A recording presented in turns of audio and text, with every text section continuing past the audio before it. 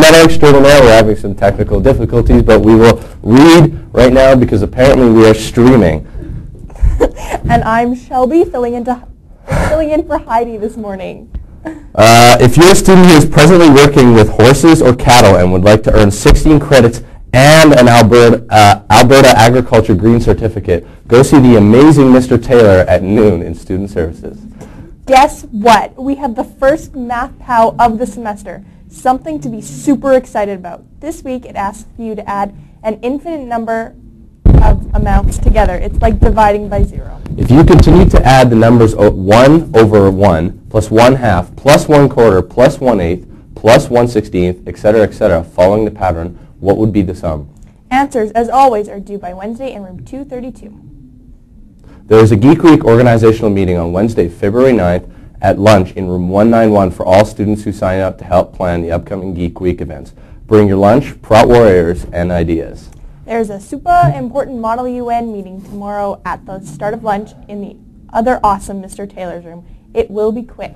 Applications for the Summer Health Services Youth Initiative internship are available on Student Services.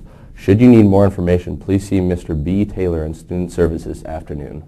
And the following students need to see Mr. Taylor in Student Services. Josh Klein, Shelby Prosser, Noel Dowler, Christine Gauthier, Dylan Rempel, Alexis Schroeder, and Courtney Campbell. Grade 12 is interested in attending Memorial University.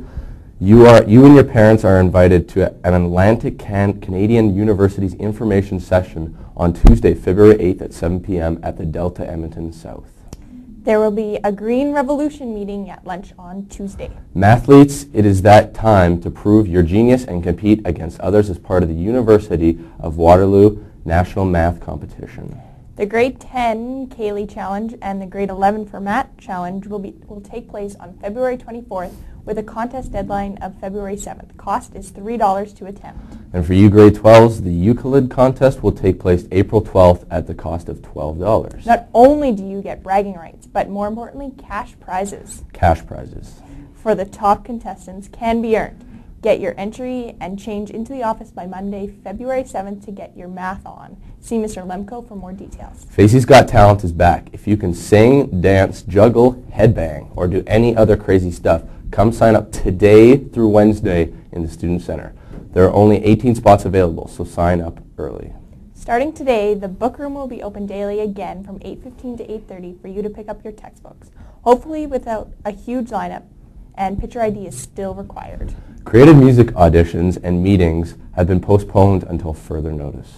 Any grads who have yet to get their grad portrait or would like to get grad retakes may book an appointment with Miss Wong in room 233. Portrait sessions will take place today. Correction to all graduates. Please note the error that appeared on Thursday. It was the wrong email address. Email your baby picture to babypicture2011 at bevfacey.ca. That's babypicture2011 at bevfacey.ca. Now for the lone athletic practice.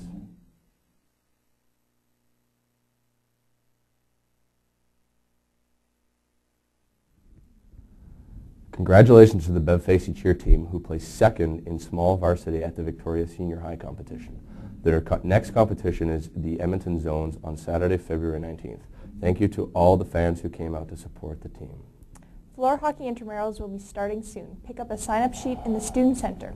Deadline for sign-up is this Wednesday. Congratulations to the senior girls basketball team. They won third place at the Taber tournament by defeating Lord Beaverbrook from, Cal from Calgary 85-47. Leading the way was Nikki Ruptash with 24 points, while Lindsay Piper had 18 and Carly LaPointe with 11. The girls have a home game tonight at 6.15 against St. Albert High. Junior girls basketball have a shooting practice at 11.45 today. Home game today at 4.45 against St. Albert High. The senior boys basketball crushed Brooks 90 to 42 to take third place in Taber over the weekend in a great team win.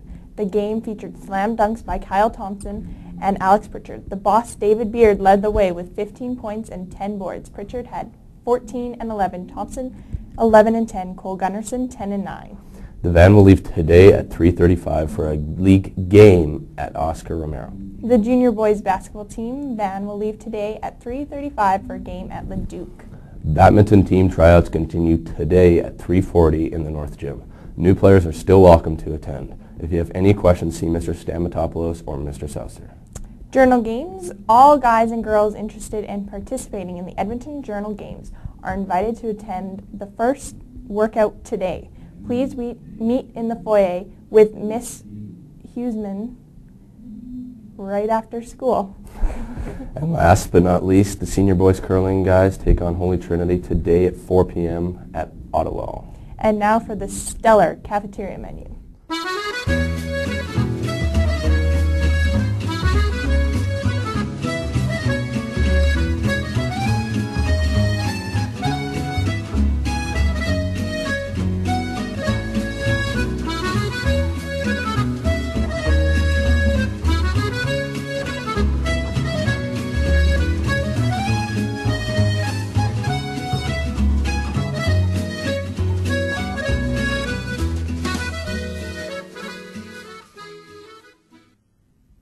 Good luck to all our teams competing. And for any de- details, see the posted bulletin. This is Metal Mondays signing off.